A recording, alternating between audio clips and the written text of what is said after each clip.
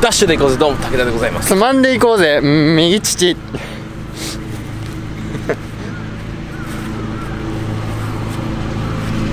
俺これから走っからさ。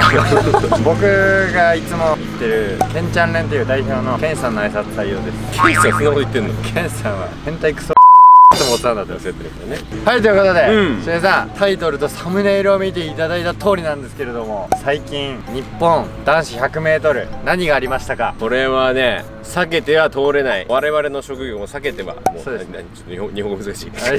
言いたいことは 武田の11秒30が多分結構最近では話題になってる ああなるほどね。ボケてくるパターン。ま あ確かに。確かねえよで冗談なんですけども、うん。山形亮太選手が日本記録出しました。素晴らしい。もう本当に。すごいよね。うん。なんですけれども最近の TKD 僕思うんですけどめっちゃ速い。うん。あははおほほっつって今陸上系 YouTube やってますけど、うん。TKD はそこに収まってはいけない。TKD はめっちゃ速いんでちょっと何かのこう称号を成し遂げてほしいなと思って考えてきた企画があるんで TKD 山形亮太に勝ってみた。い無理だよ。や無理です最後まで。無理。無理なんで、うん。10m ハンデだったら TKD 勝てんじゃねえかっていうことで。ね。あーとはい。何？来んだよ山本さん。来ねえよ。来ないか。来るわけねえだろ。そんな感じで、うん。9秒95にもじってちょっと 90m9 秒9秒切れるか切れないか全力でちょっとやってもらおうかな。なるほどね。今の俺だったら今までの計測方法を使うんだったら、はい。容易にゴールしてやりますよ。それともあの普通にこれでやる？出だしだときつい タッチダウンでいきますか。俺のその出だしの計測方法で東洋大学時代の比較すると例えば 80m だと今から 90m じゃないですか、うん。80m だと僕大体アベレージが8秒8とか9ぐらいだったんですよ。それで10秒9とか8出るんですよマジで。出だしで8秒。出だし。あいやこれじゃない。動き出しで。今まではタッチダウンだったけど動き出しこのシュッで計測してくれてたんですけどマネージャー、はいはでも今無理なんで出ないです。タッチダウンが本当に際どいところってこと？そうね。でも今夢の途中なわけですよ 夢の途中でこんなところで 90m 測って10秒かかりました。ってなったらちょっとまずい。そういうプレッシャーはある。普通にベストパフォーマンスだったら。ベストパフォーマンスだったら本当に9秒95ぐらい。9前半ぐらいじゃないかな。9号切れんじゃないかなっていう感覚は、まあ、あります。ある。はい。ある。ありますよ。よし。それ切って、はい。山田選手勝ったぞで終わりましょう、あの山形さんもう最近どうかわかんないけど僕らのチャンネル見てくれてますから。相互フォローだもんね。相互フォローですし結婚式でお会いしてるんで。あそうだ。すごいって言いたいところなんですけど、はい。なんか俺もこの間フォロー買ってきたんだよ。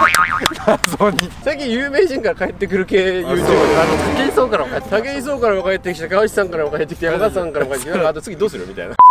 ということで、じゃあ早速やりましょうか。そうですね。やりましょうやりましょう、はい。じゃあ最近の動画見て思ったんだけど、うん。やっぱ短距離企画をする時って、ん。トークがないと尺がない。ダッシュで行こうぜソニックスプリントスーパーソニック2でございます。え欲しい？エリート2です。あなんかみんなソニスプみたいななんかうん。サブスクみたいな感じでなんかすごい略してたけど初めて聞いた俺ソニスプなんてソニスプ。ソニスプだよなみたいな感じで略してたけど。周平はなんて言ってたの？ソニックスプリントって言ってたの？うん。だよね。ソニックスプリントっていい？ちょっと長い。な長いか。頑張れ TKD、えー、10メートル半でプラスタッチダウン方式で山形亮太選手に勝てるのかどうか。さあ出た。さ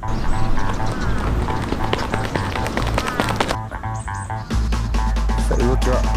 いいよ。力んでない力んでない。状態ぶれてない。あいいね。めっちゃいいじゃん動き。動きめっちゃ良かったよね。こことここしか見てあいいねダッシュで行こうぜ。今までになんか緊張してる。あのね服うまいね雰囲気作りが。それ違う。自分に期待してやるから。言わせねえからちなみに。言いたかった。結果聞きましょう。聞きましょう。もう、はい。さあ結果お願いします。え待ってさあどういうパターンでくんの？どっちがいい？あの一気にバーンってくるかなんかこっちみたく9秒。もしじゃあ9秒だったら9秒って言って。で10秒やったら「ジェーイ!」って言って。ああそれで行きましょう。あはいはい。周平さんの結果。あはい。9おおまずうまい9秒ね。うまい。まず9秒。バランスがうまくなってきてる81 81 11いや。えタッチダウンじゃなくてよかったんじゃないよかった気がするよね。絶妙に出ないと思う。でもまあ今日はね、まあ、10m 半でプラスタッチダウンということでタッチダウンで山形選手に勝てるかっていう企画だったので。服のね、はい。ハンドでこのタイム嬉しいよ。いつもパソコンで測り直しても服のタイム変わんないのよ大体。わかる。ハンドすごい信用してて。それで81はね結構嬉しいっす。そうだよね。ってことで、はい。これから山形選手に勝ったって言えます。今日はあり？な し最後までご視聴ありがとうございました。それでは皆さんまたのご機会に。さようなら。ああこっちだ。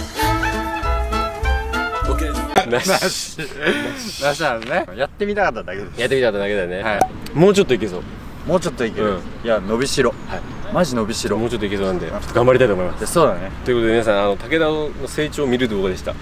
武田の成長を知ることができる動画ないじゃんってだからないのよ